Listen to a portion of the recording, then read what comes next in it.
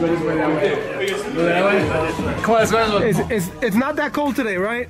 Not that cold. We But, good. but you have to be careful from the ice. You gotta be careful with the ice because it's really slick. And you can really hurt yourself. How hard does Jake Paul work for those who don't know?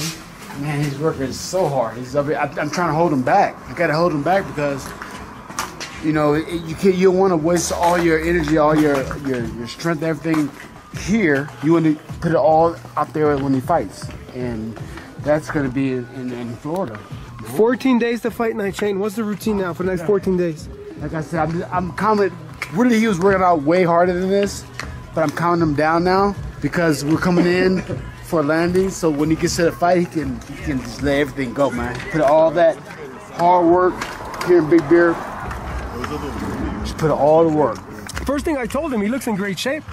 He's in tremendous shape. He's in better shape than a lot of other professional fighters. My guy. Good morning. Good morning. Whew, I always like seeing you, bro. I appreciate it. Thank you. It means Hey, something important's happening. well, the sacrifice that he's doing, being here in Big Bear, he could have stayed home. He could have trained comfortable, sleep in his bed, He did all that. go to Beverly Center every day, enjoy life, or Yeah. Rodeo Drive. Yeah. But there's no Rodeo Drive here in Big Bear. There's nothing up here. Just training, training hard. You know, he comes here, trains hard. My birthday is in a couple hours. His birthday's in a couple hours. You know, we, we have a, a date with the with the lake. You know, jumping- So no birthday celebration till after the fight. Nothing. I mean, that's that's Facts. that's yeah, that's a celebration right there. Is the fight. How important? Oh, go ahead. I'm sorry. No, go ahead. What? So just going through all this he's going through when he, when he fights.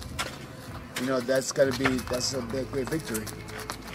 How important is to visualize his win, to visualize his punches landing? Very important. That's what we're doing pretty much right now is visualizing the win, visualizing what he's gonna do. Um, he's not. We're not doing the. We're not like running hard, doing the traditional run right now because I mean, he's in fucking great shape. You know, there's no. There's no need to. So there you have it. Another great video.